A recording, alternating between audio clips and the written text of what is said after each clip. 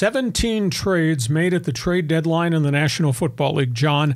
Uh, this was historical in nature, had never happened before. And I think you and I last last Thursday talked a little bit about the NFL is now run by different people. You know, baseball has been overwhelmed by the metric system and, and analytics, and Harvard graduates who are now general managers have changed the game. I think the NFL's got some of that happening now.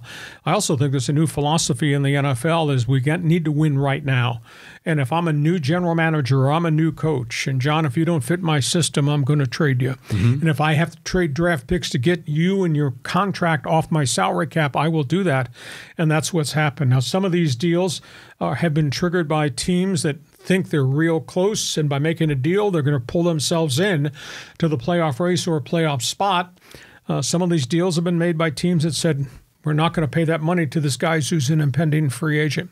The Christian McCaffrey trade, which was the first blockbuster deal that happened, he goes to San Francisco, and we saw in his first full game with the 49ers the difference he could make running the football, catching the football, and by the way, dude threw a touchdown pass yeah, of the football too. So that was that was pretty impressive.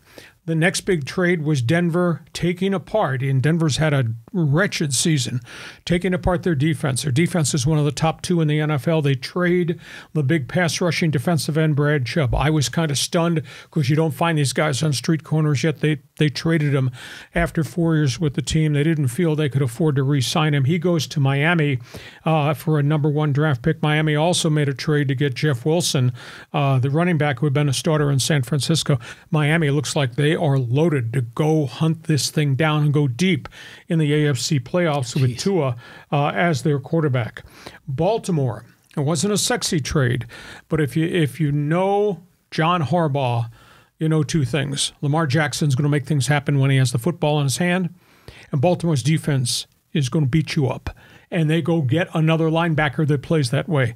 Roquan Smith, who had been very unhappy, impending free agent with the Bears, traded. Uh, a couple of high draft picks go to Chicago. In that deal, Roquan Smith steps into the middle of a really street tough Baltimore Ravens defense.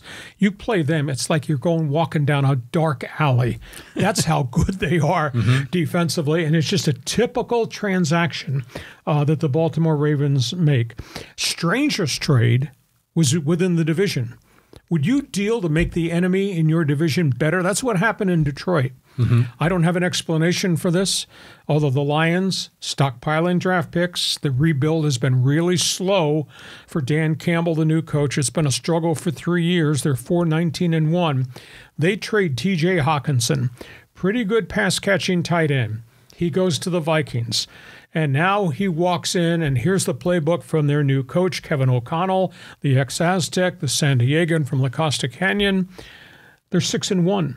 And now they add a pass catching tight end to Justin Jefferson and Adam Thielen, the big play receivers, Dalvin Cook, the tough guy, explosive running back, and the veteran quarterback Kirk Cousins. This is a heck of a deal for Minnesota. Might be a half year rental. Hockenson becomes a free agent. But if we can catch a pile of passes and they can force their way into the NFC playoffs, which at this point they're right in the driver's seat, wow, that's a pretty good deal. So, I mean, think about that trading with the enemy uh, in your division. And then there was a controversial trade, Jacksonville, and it's really been slow growth for the quarterback, Trevor Lawrence, who many expected to be a superstar in the league, and right now he's kind of pedestrian. They're trying to build the Jacksonville franchise, the wreckage left behind by Urban Meyer. Jacksonville makes a controversial trade for with Atlanta for what they needed a down the field threat receiver in Calvin Ridley. Ridley is suspended this year.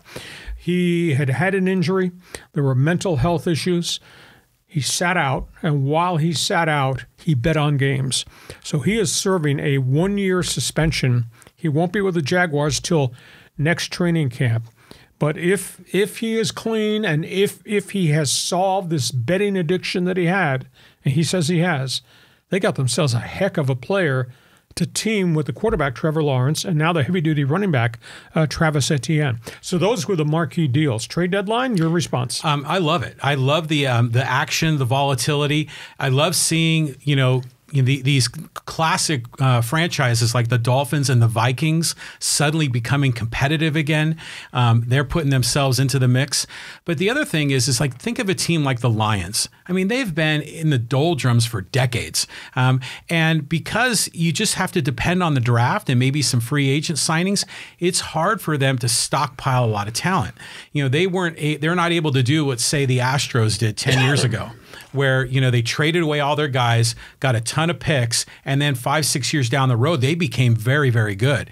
So maybe we'll start to see some of that in the NFL, and if so, it'd be great to see some of these other franchises kind of resurrect themselves.